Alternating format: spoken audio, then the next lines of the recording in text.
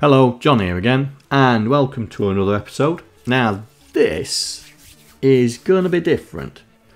As you can see, I've got Linux Ubuntu running. And so, as you probably guess, it's going to be a Linux episode. And you would be right. So, I've just created this brand spanking new Linux machine. Just to show you. If I do sudo apt, uh, is it update like that?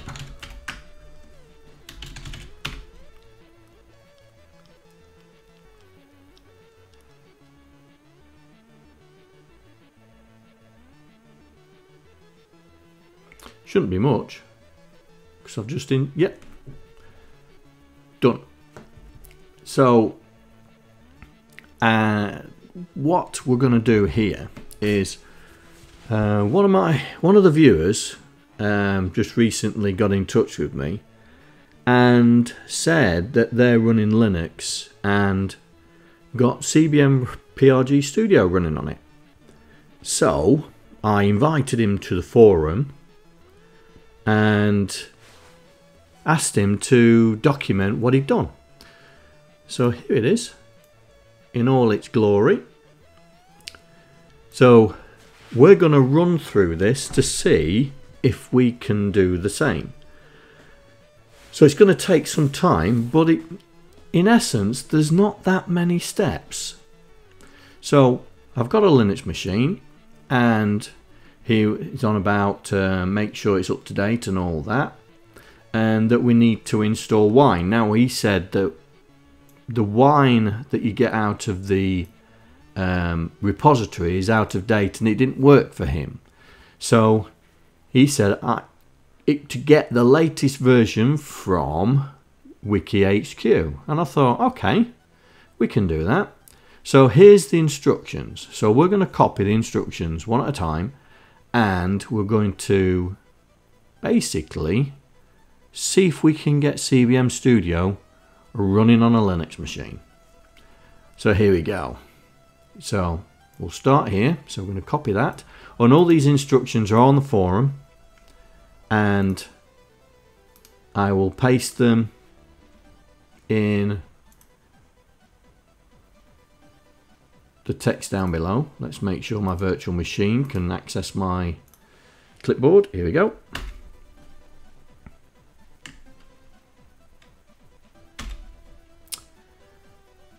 And basically we're just going to install all these steps.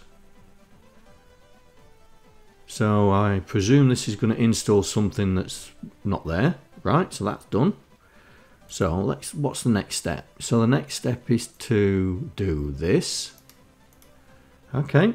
I have no idea what these instructions are doing but I'm going to copy them. Then is to do this so I presume we're getting some sort of key. And that's done. We're doing alright so far. Then we're doing this. So I presume this is adding another repo to the uh, the package list. Yep.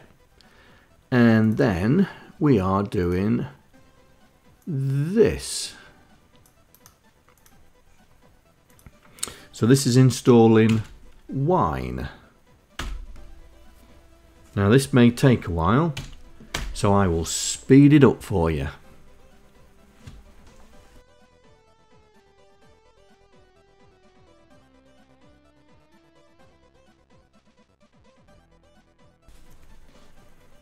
Right then, so that's installed. Now, it gets it gets into a little bit of uh, things. So we've got to install this wine trick. So we need to CD into downloads. So there shouldn't be anything in there. There isn't. And then we need to copy that link and do wget. So wget, paste the link in, press enter. Right, that's done that.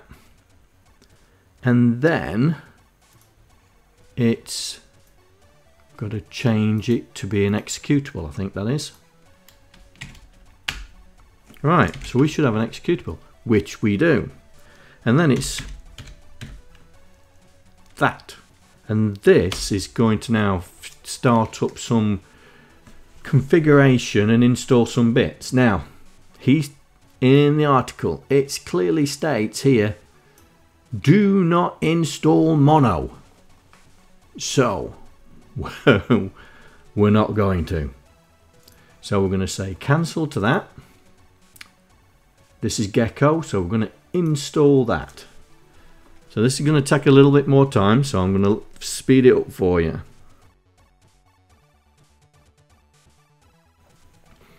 So, we have got a few steps to do in here. And so what he was what he's we've put in here is right, we need to create a new win a wine prefix and select 32 from the drop down. Okay, so we're going to do that. So back in here, we're going to create a new wine prefix I'm going to select 32 and we'll call it 32-bit apps. Uh, so no, okay. No, we don't want to install that.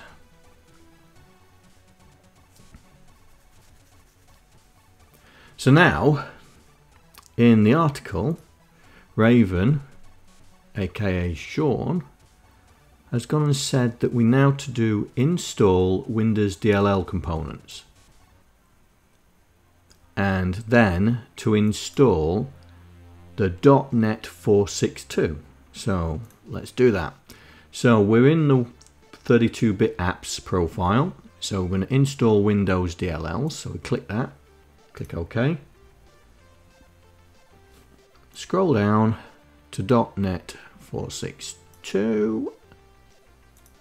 Click that, click OK. And it's now going to download all the .NET. So it's going to download .NET 462, 461, 46, uh, 45 and then 4. So I'll see it's ask it's letting us know Mono is not installed, which we know because we're not allowed to install it. So I'm going to let it run through it. So now it's downloading 461. I think at 4 it has a bit of a fit and we have to install something. So mono again, okay, we're not going to install it. So this should be 4.6, yes it is.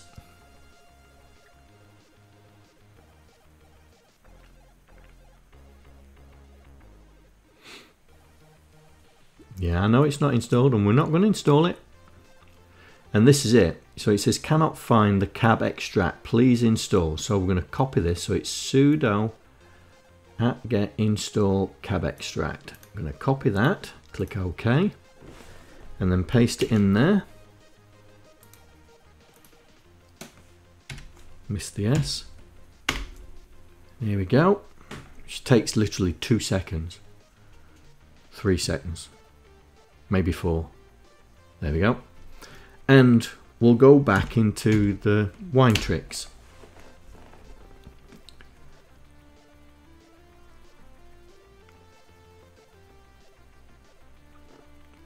Right, as you can see, we're not in a 32-bit, so we have to select 32-bit apps, click OK. And now we're in the 30-bit. So we need to do it again. So we're going to select .NET 462 but this time because it's already got the packages it's going to skip through it. So it's doing no it's not doing the 462 it's going to complain about mono. Now it's doing 461 but it knows it's got it it's going to complain about mono. Then it's going to do 46 which it's already got complain about mono. Now it should download 45 there you go And of course it's going to complain about mono. See? Now it's going to download 4. And it's saying .NET is not fully working with the wine, which we're fine about because CBM Prog Studio doesn't work. It's uh, not a .NET 4 app. It's a .NET 6, 4.6 I think. And it's going to complain about mono again. Now it's going to reverse install all the .NETs. So it's going to start with .NET 4 and it's going to then do .NET 5, 4.5, 4.6, 4.6.1, 4.6.2. Now this is going to take a while, so when you're doing it, if you're planning to have a cup of tea, have it now. But I'm going to speed this up for you, so you guys, you guys don't have to uh, put up with the uh, waiting. I'll see you on the other side.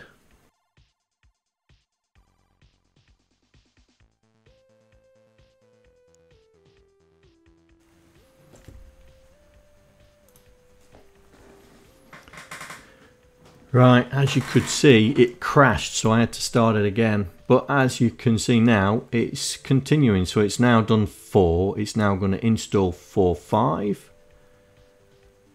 Hopefully. And this time it's going to go through without a hitch.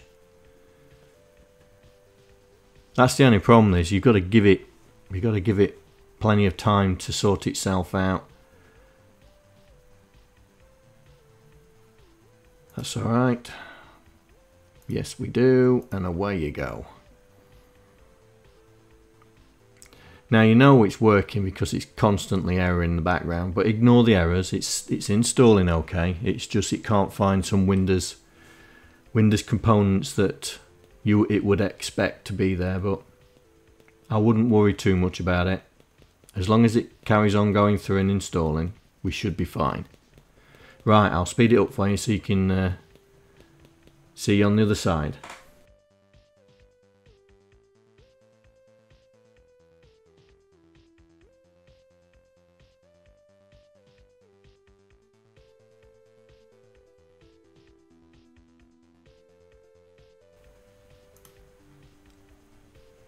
Right, that's all the .NET's installed. So I'm going to come out of this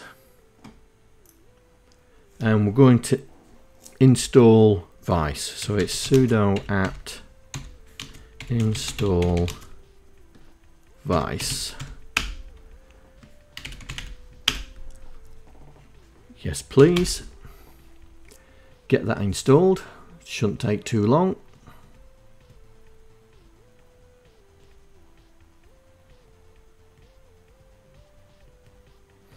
Right, what we need to do now is we need to get the ROMs for Vice because this won't work without the ROMs.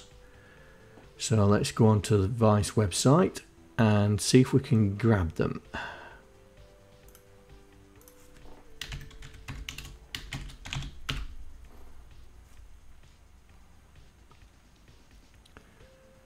Right, Vice.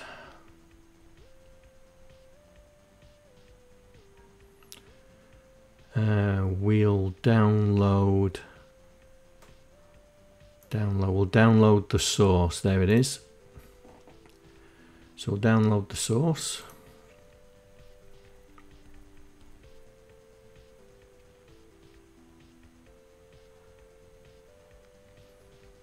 Here we go. So we'll save the file.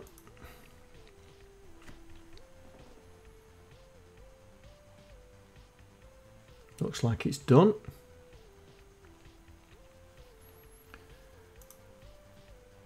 So we'll close that down, go into File Explorer, and we need to copy the ROMs. So we'll extract that to here. We'll go in there, and we'll go into there, create a terminal, and we'll do what we did before, which is this. So this is saying copy downloads Vice, but this is Vice 3.4 now, and data, and put it in the users. So let it do it. Sorted. Right, now we should be able from here to go x64 and it should load Vice up. Boom.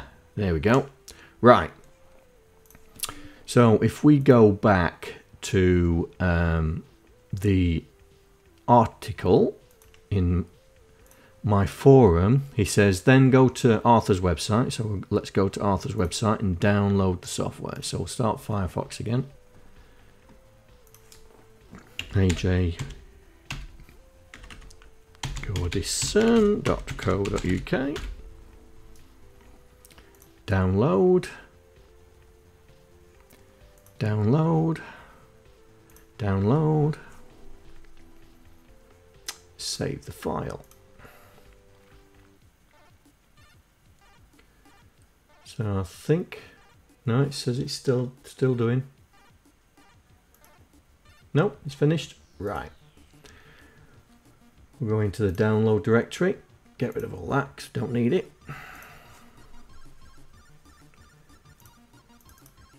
Unzip it. There we go. There's the runner installer. So we've done that. So what does he say now? So on the next, so it says, it, all right, so he says it, now it gets a bit weird. To install CBM Studio by installing it. okay, right. So we need to go back into that winetricks. There we go.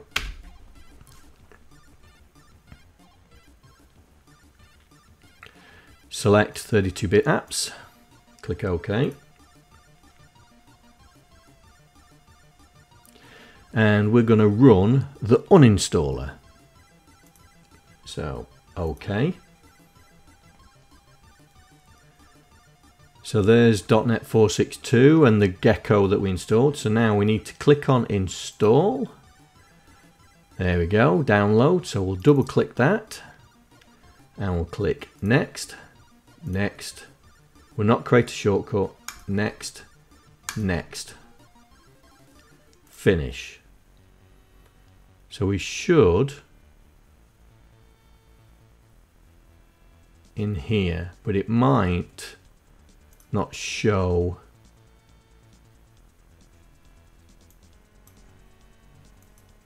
until we go back in. So we'll just do it again. Run on installer.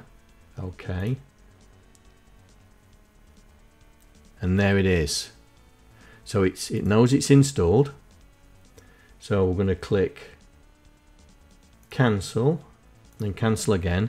And now we should have, there we go, see this help with this wine glass?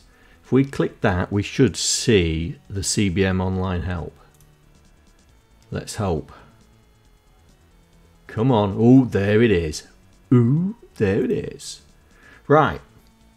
So there should be an icon now in the start menu. And there it is. There we go. I'm going to run it see what happens. See if it goes pear-shaped. Well, well, look at that. And it's installed. Right, let's do some jiggery pokery.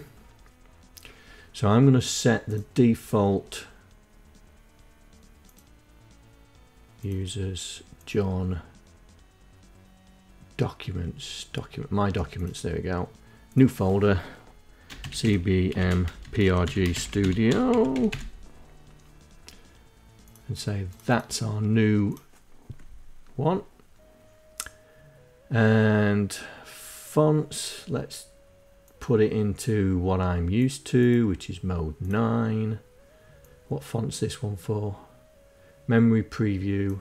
Right we'll make that 10 like so. Okay uh, source font make it my trademark font, make it big enough so we can see it. Okay. So snap that to the side, make that a little bit smaller, snap that to the bottom. There we go. Right, let's create a new product. So create a new product, C64. This is going to be hello world. I'm going to put it in there. No, we're not creating a Git repository. Next, create. Right, let's go to our forum site. Let's go back to the home because um, I've got a demo example. So assembly stuff, uh, assembling code, code examples, and hello world. So select code, copy, and let's paste it into a new file. New file, hello world.asm. Paste, and there's the file, so we'll save it. Now, the problem is because we've got Linux, because we're running on Linux, I've tried, I've failed many, many times to try and get Vice to run, but it doesn't run. But what we can do is we can go build program to file. So we let it go through it. So it's now, there we go. It's going to ask me to where do I want to save it. So I'm going to put it in there. And then we're going to open it up. Documents, Prog Studio, Hello World. There's the program file. So we're going to open up in terminal and we're going to do x64 hello world. .prg.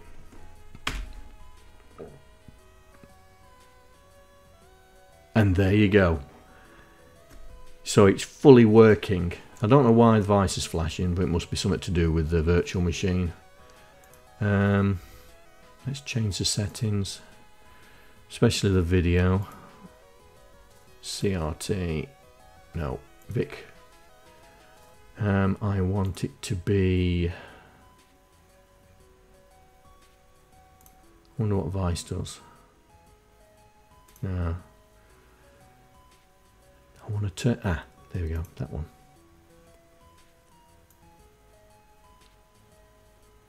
Where's the OK button?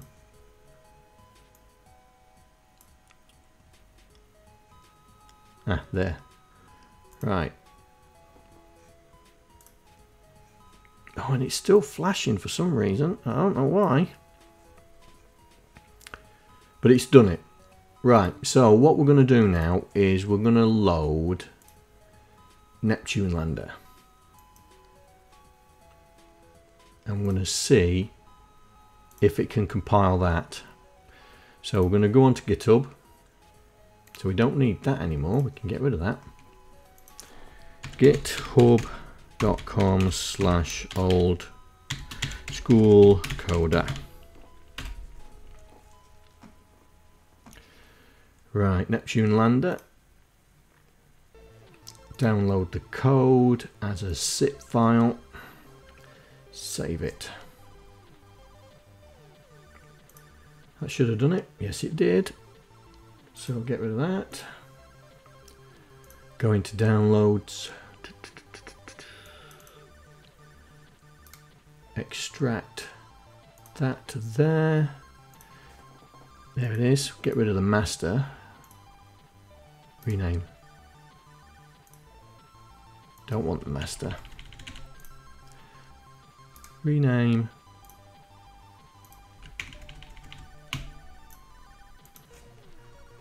Gonna cut it from there. Gonna paste it into here. Not there.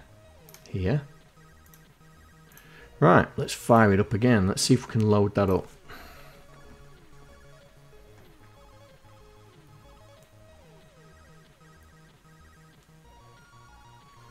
So open existing project, Neptune Lander, Neptune Lander.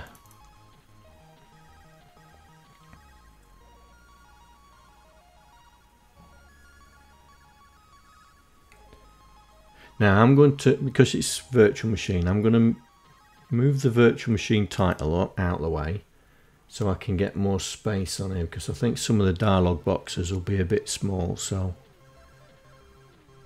let me uh, do this. There we go. There we go. So it's loaded Neptune Lander in. So let's see. Shall we see? Right, let's have a look at the character set. Does it load the character set font editor? And yes, it does. Look at that. Oh, cool. Right. So that's that one. Does it load the sprites? Let's have a look. Well, it's certainly loading the sprites up. Oh, okay, let's close that.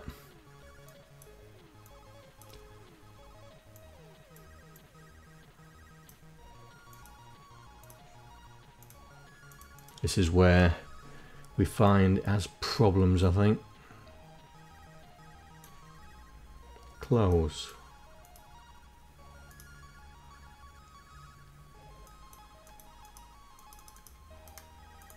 Yeah. There we go. No. And landscapes.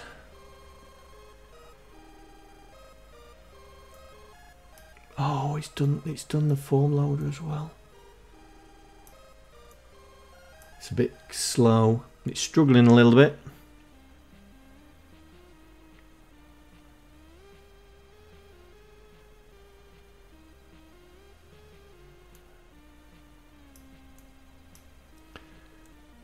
See if it'll swap screens. Oh, I can't because it's down there.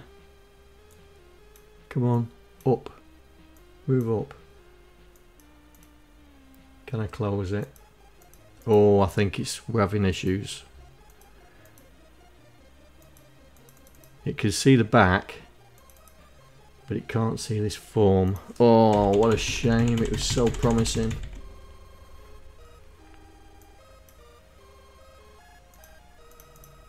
Right. Okay, yeah. Right, let's try this again.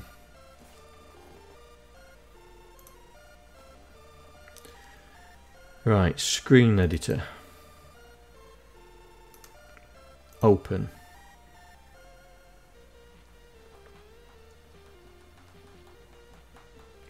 Oh, it could be just too big. Right, let's shut it down. Oh, it says the screen editor's open back up. Oh. Oh, it is. There it is. It's struggling now.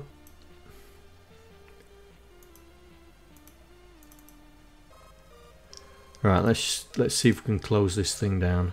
Quick two windows. Okay, right. So we'll close it down. Let's try see if um, it was struggling because of the stuff that was asking it to open. So open existing project, Neptune Lander, Neptune Lander, and see if it will open up the form.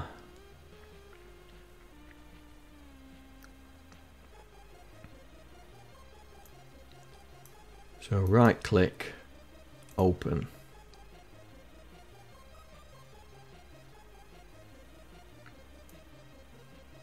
Yeah, I think it's a memory. Could be a memory thing. I'll have to see how much memory there's running. See if it'll run through the screens. Screen 1, screen 2. Come on. Screen 3. Yeah, it's done screen 3. Screen 4. No, that's screen one, isn't it? That's the original one. So it is loading it up. It's a bit on the slow side, but this is a Windows program running on Linux using Wine. Now the big thing is, will it build this project? This may take some time. Let's see. Right, so I've told it to start and away it's going.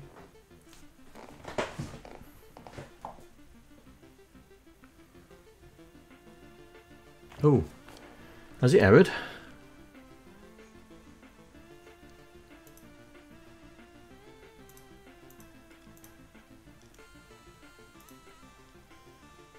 Include binary not found. Lander.sid. Oh, okay. Have I am I missing a file? Okay. Um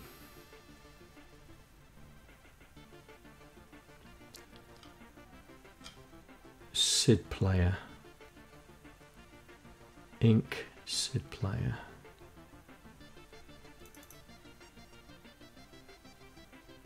Is it in there? Yeah. Let's rem that out for the moment because I'm not playing it anyway. So save, go back, build, program, run. No, no, no, save in it.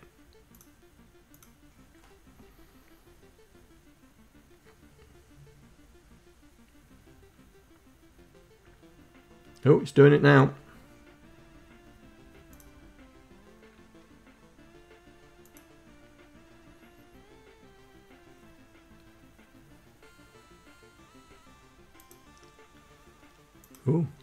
There's the assembly dump.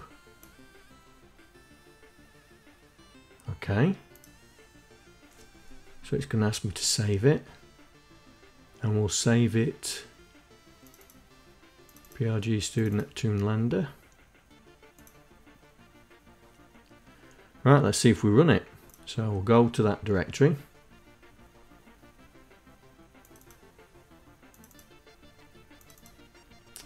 That's the one. So we'll open terminal.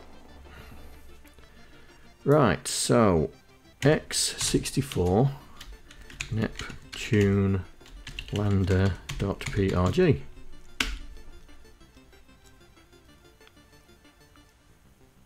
Come on. Come on.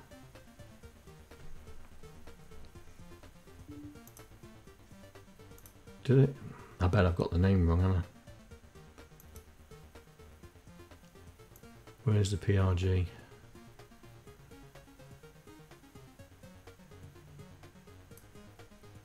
Oh, Neptune lander underscore V2.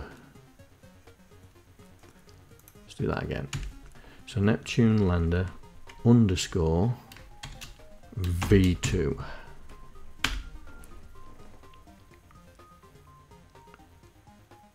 Come on.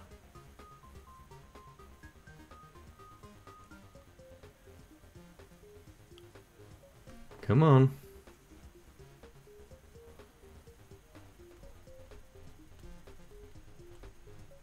Why aren't you showing? Oh, it's doing a load. There we go. And it crashed. I wonder if that's because I've I've disabled the um, InkSID player. I wonder if it's because I've disabled the uh,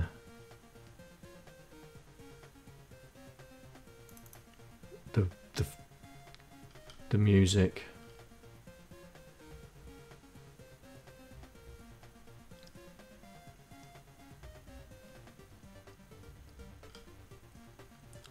Set up SID play, I bet that's in the flow.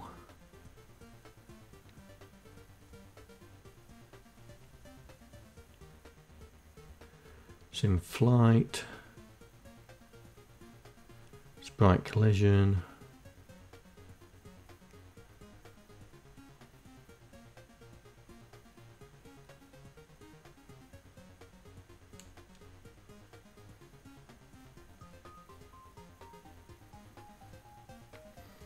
Come on.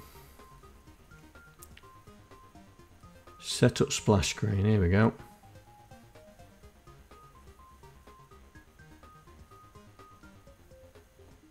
JSR scroll. Right. Game.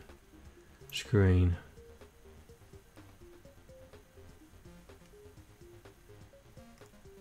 So this is the scroll routine. Do we set up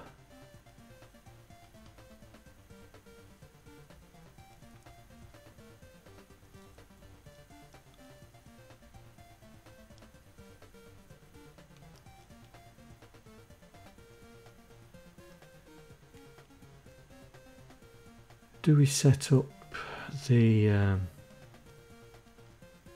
no, it's definitely not there.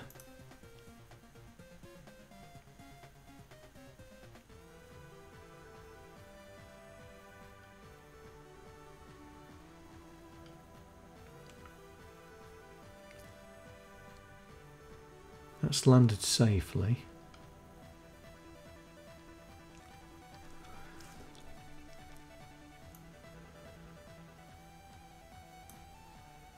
That's difficulty.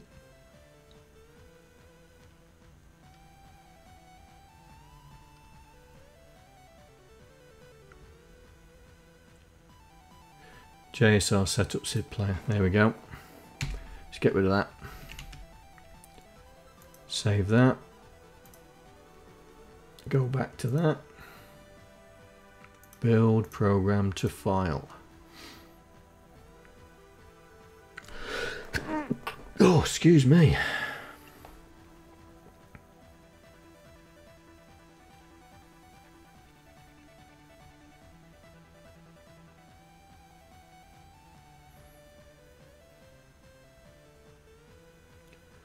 Right, so it's done that. Going to overwrite that. Looks like it's done it. Right, let's try again.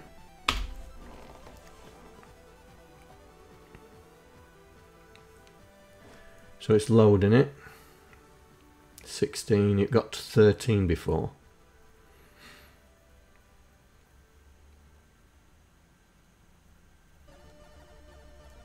There we go. Right. So it's still flashing, but I think this is to do with the VM, to be honest. But you saw it. It was working.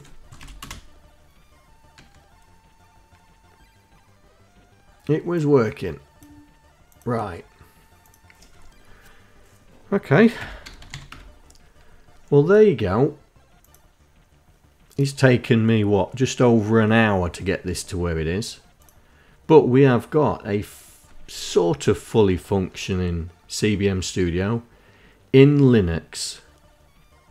And it compiles, it does the screens. Admittedly, I've got some big screens here, but it does it. And it's not bad for a first effort. Um, I'm gonna let's see how much memory are we using.